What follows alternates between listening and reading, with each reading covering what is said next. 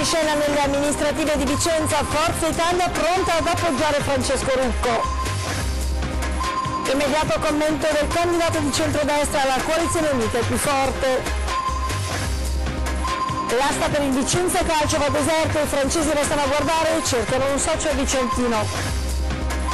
Ancora un incidente sul tratto killer dell'autostrada, lo scontro tra tre tir perde la vita un camionista. In seguito al coltellato accusato il butto fuori dalla discoteca che ora è indagato per tentato omicidio. Crisi Omba, il Ministero salta l'incontro, domani i sindacati incontrano l'azienda.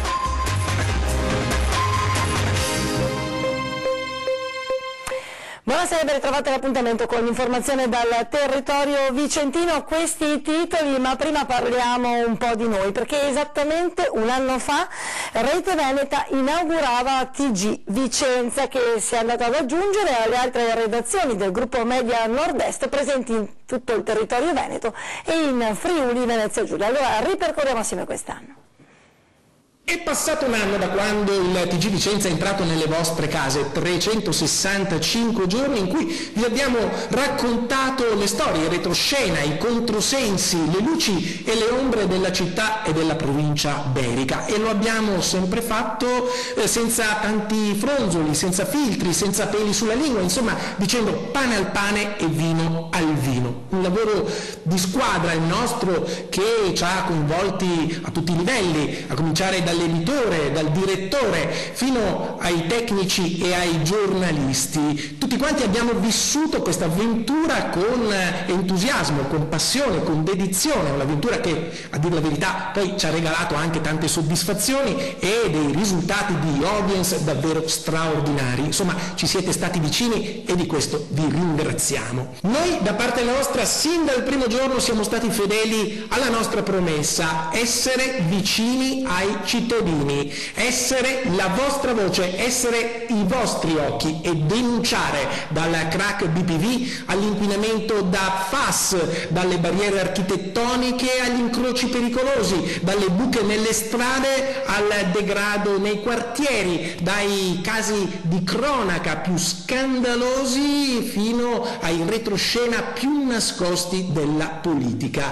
E su questo, sia chiaro, non ci siamo mai tirati indietro perché crediamo, ne siamo convinti, che il ruolo della stampa sia quello di essere il cane da guardia della democrazia e non il cagnolino da salotto del potere. Per questo abbiamo combattuto al vostro fianco le vostre battaglie, quelle piccole e quelle grandi. Abbiamo eh, portato le vostre istanze alle autorità competenti, abbiamo sostenuto le vostre ragioni e non abbiamo mai mollato fino a quando non siamo arrivati a una soluzione, a una risposta, a un risultato concreto. Questo perché siamo convinti che il compito di un telegiornale sia sì informare e raccontare raccontare, ma anche e soprattutto portare un contributo critico, costruttivo, avanzare delle proposte, guardare eh, lontano, anticipare i tempi, insomma offrire un punto di vista inedito, anche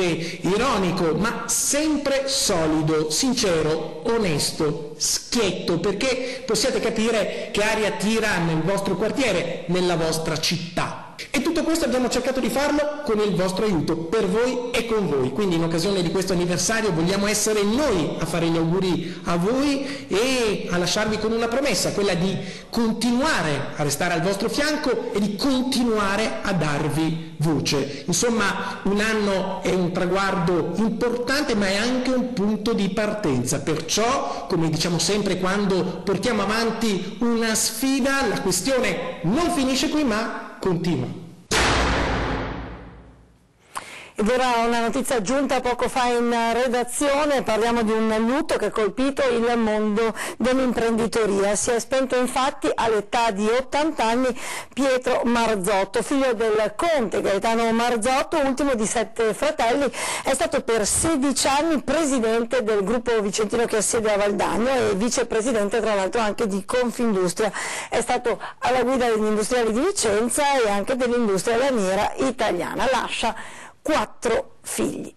E allora invece andiamo alla politica cittadina, questa corsa per le amministrative, perché oggi in casa centrodestra si è vissuto un altro colpo di scena, sentite quale. Spalle al muro, Forza Italia sotto scacco fa l'unica mossa che può fare, tratta con Francesco Rucco. E questo è il risultato scontato dell'ultimo vertice forzista. Oggi pomeriggio i leader del partito si sono incontrati per decidere quel che già era stabilito dal destino avverso. Certo non gliene va bene una, con l'aria condizionata rotta e con le finestre spalancate, il partito anche oggi pratica la specialità della casa, il candidato congelato. Se prima toccava a Fabio Mantovani, adesso finisce in freezer la candidatura di Matteo Tosetto e viene fissato un termine di 48 ore per trattare con Francesco Rucco. Una mossa formale perché sostanzialmente Forza Italia e già con l'alfiere delle liste civiche. Noi lo avevamo previsto, lo avevamo anticipato. Se i forzisti corressero da soli, si schianterebbero sul primo turno delle amministrative. A quel punto, al ballottaggio, in piena confusione e contraddizione, o si presenterebbero a Canossa, col capo cosparso di cenere, e chiederebbero a Francesco Rucco di farli salire sul suo carro, oppure, ancora peggio, stringerebbero un clamoroso patto del Nazareno con Otello dalla Rosa. Nell'uno e nell'altro caso Forza Italia perderebbe la faccia con i suoi stessi elettori. L'ultima chance, non di vincere, ma almeno di non sfasciare il partito, è questa. Compattare subito il centrodestra, rinunciare a un proprio candidato e raggiungere Lega e Fratelli d'Italia che con Popolo della Famiglia e noi con l'Italia già sostengono Francesco Rucco. Forza Italia non ha potuto che fare questa scelta, la situazione era diventata insostenibile, non c'erano alternative. In questa partita poker con la coalizione di centrodestra, Forza Italia ha dovuto chinare la testa, chiudere la partita. Il candidato in pectore, Matteo Tosetto, sorteggiato come si fa con i kamikaze per lanciarsi nella corsa elettorale, era rimasto con una scartina in mano, un 4 di quadri che aveva tirato su quando per gioco lo avevamo invitato a scegliere una carta. E già siamo stati profetici, fin da subito ci siamo permessi di far capire a Forza Italia che non aveva le carte per vincere. Ora finalmente ci dà retta e tratta, ma sia chiaro, la nostra non è stata magia, solo buonsenso, che a volte in politica è stupefacente. E la scelta di trattare proprio con Francesco Rucco è arrivata oggi in occasione del vertice regionale di Forza Italia. Noi all'uscita proprio dal vertice abbiamo contattato il commissario veneto di Forza Italia, Adriano Paroli. Il bene che noi, che noi vogliamo al centrodestra, in particolare il, il fatto che il centrodestra è stato creato da Forza Italia ed esiste per Forza Italia, eh, deve dare la possibilità di eh, tentare, se ci saranno le condizioni programmatiche e non, di ridare a Vicenza una proposta unitaria di centrodestra. Quindi nel giro di, di, di pochissimo, quindi tra oggi e domani, insomma al massimo il weekend, ma io credo che tra oggi e domani eh, si provi e si capisca se ci sono le condizioni programmatiche per riproporre un centrodestra unito allora Forza Italia, come ha sempre fatto, antepone la possibilità di, di dare un centrodestra unito al, eh, al, al, proprio utile interesse che sarebbe quello di andare separatamente. Questo lo sapremo a breve, quindi non è né un, né un andiamo da soli a prescindere né un ok facciamo il centrodestra. Eh, ci serve ancora alcuni elementi, ma diciamo, c'è un'apertura vediamo se ci sono le condizioni perché si possa, si possa fare una proposta unitaria di centrodestra a Vicenza. E dopo la voce di Forza Italia sentiamo proprio quella del diretto interessato, vero Francesco Rucco. Colpo di scena sulle amministrative di Vicenza. Forza Italia ha deciso di trattare con Francesco Rucco. Lei se le può prendere 48 ore per discutere con eh, Forza Italia? Ma diciamo che i tempi sono stretti perché stiamo già raccogliendo le firme sulle liste. In realtà comunque c'è la disponibilità a confrontarci sul programma e sui progetti per la Vicenza del futuro e riteniamo che sia una buona notizia perché comunque vorrebbe dire ricompattare il centro-destra, che questa è la cosa più importante che auspicavamo fin dall'inizio all'inizio. Chi la dura la vince, finora è riuscito già a fare un miracolo, ha compattato il centrodestra? Beh, diciamo che in tanti anni nessuno ci è riuscito, devo darmi almeno il merito di averlo ricompattato, auspicando che Forza Italia arrivi definitivamente nelle prossime 48 ore. 48 ore per trattare, si aspetta delle richieste particolari da Forza Italia? Ma mi aspetto un approfondimento sul progetto, sul programma, sui punti, eh, senza nascondere che la priorità in assoluto sarà su sicurezza e lotta al degrado, ma anche altri temi importanti. Altre richieste francamente non mi riguardano perché penso che tutto verrà rimandato dopo le elezioni. Certo che è già una prima vittoria per Francesco Rucco, che era partito come candidato delle liste civiche, poi ha conquistato via via Fratelli d'Italia, il Popolo della Famiglia, famiglia, noi con l'Italia, la Lega e adesso chissà forse anche Forza Italia. Noi siamo sempre stati convinti della bontà di questo progetto, abbiamo convinto una ad una tutte le forze civiche e partitiche.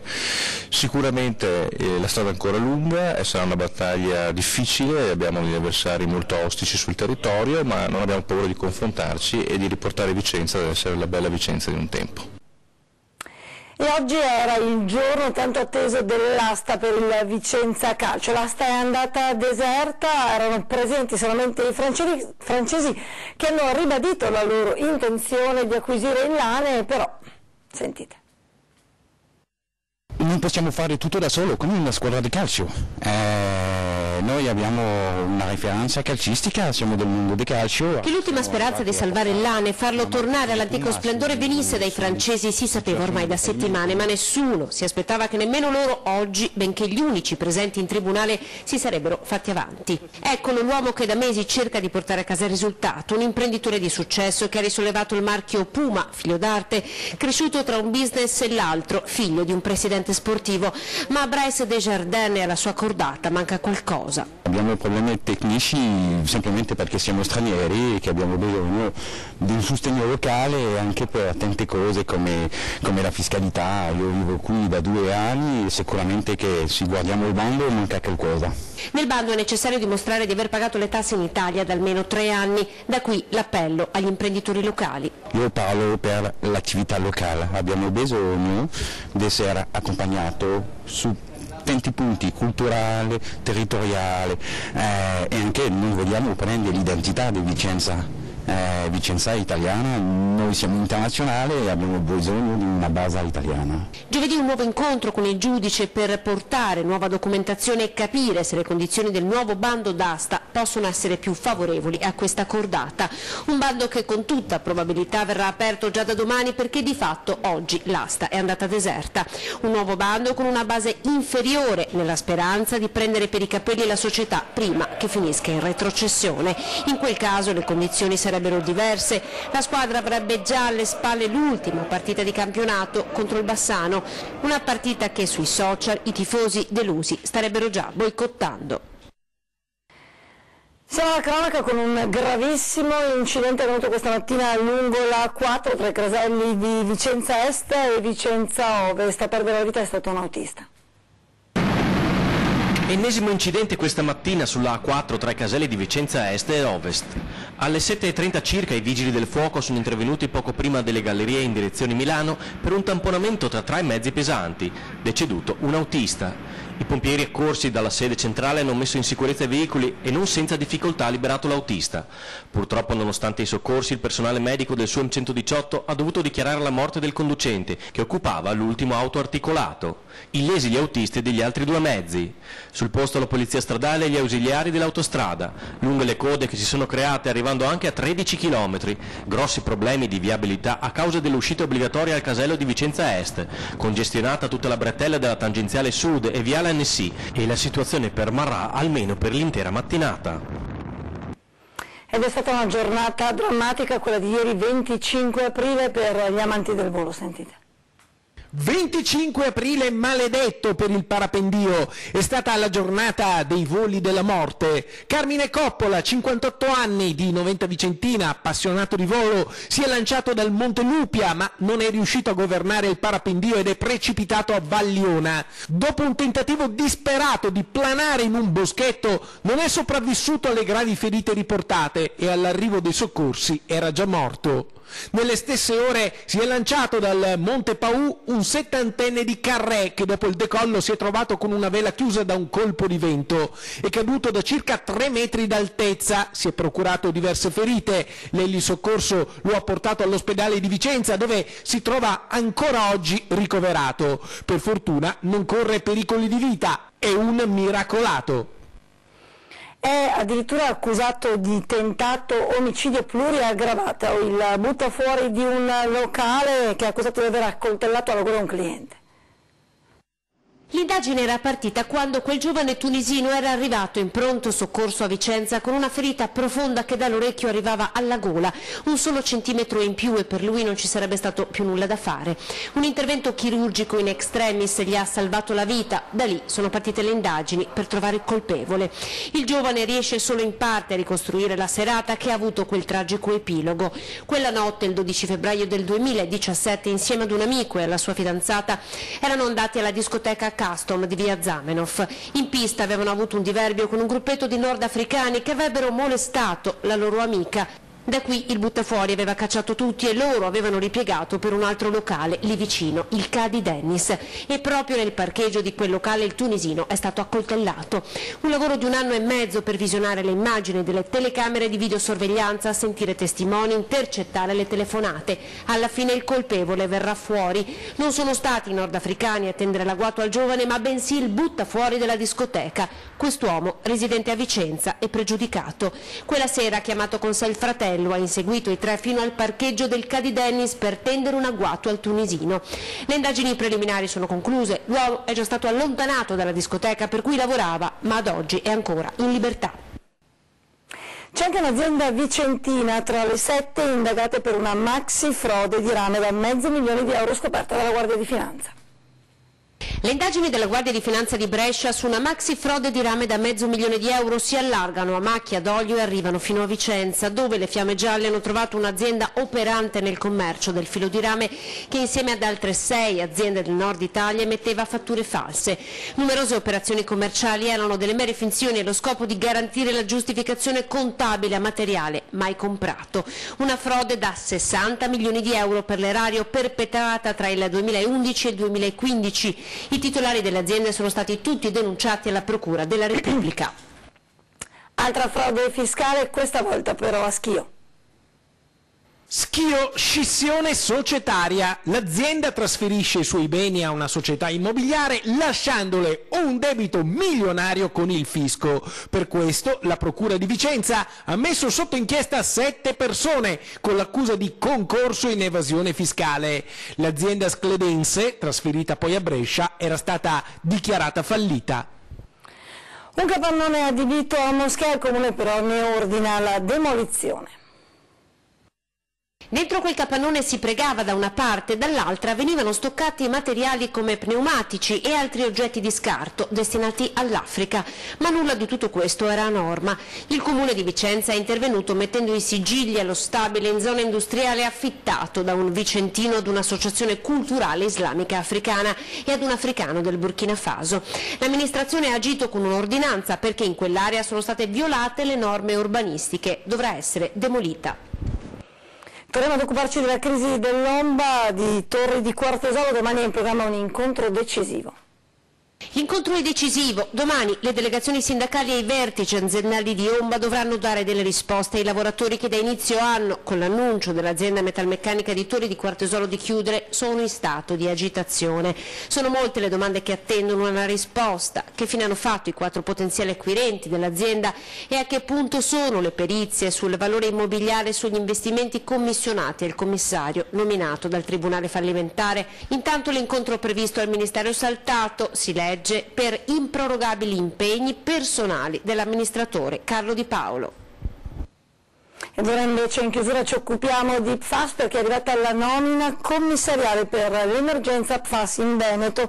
Il capo di, del Dipartimento di Protezione Civile della Presidenza del Consiglio dei Ministri ha nominato il Presidente Zaia commissario per l'emergenza, ma il Presidente ringraziando ha dato il, e dato il carattere strettamente tecnico dell'incarico ha chiesto che al suo posto venga nominato Nicola Dell'Acqua che è direttore dell'AP Scarpa, esperto di temi ambientali, Nicola Dell'Acqua nel 2017 è stato nominato dalla Regione del Veneto proprio coordinatore ambiente e salute per i FAS. Prima di lasciare le previsioni del tempo io vi ricordo l'appuntamento di questa sera alle 21.15 come sempre con Focus. In studio questa sera tanti ospiti con Lorenzo Munegato, inevitabile parlare di quello che sta accadendo non solo in Regione in vista delle prossime amministrative ma ovviamente a Roma insomma, per la scelta del nuovo governo. Da Vicenza invece per oggi davvero tutto, io vi ringrazio come sempre per aver scelto l'informazione di Rete Veneta. Arrivederci.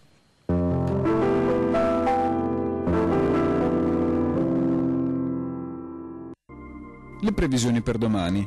Tratti di sereno più presenti fino alla mattina, alternati a nuvolosità irregolare crescente nel corso del pomeriggio. Dalle ore centrali crescente instabilità con probabilità in aumento di precipitazioni con rovesci o temporali inizialmente sulle zone montane, in seguito in estensione anche alla pianura in serata. Temperature minime senza notevoli variazioni, massime in calo in montagna, stazionarie in pianura.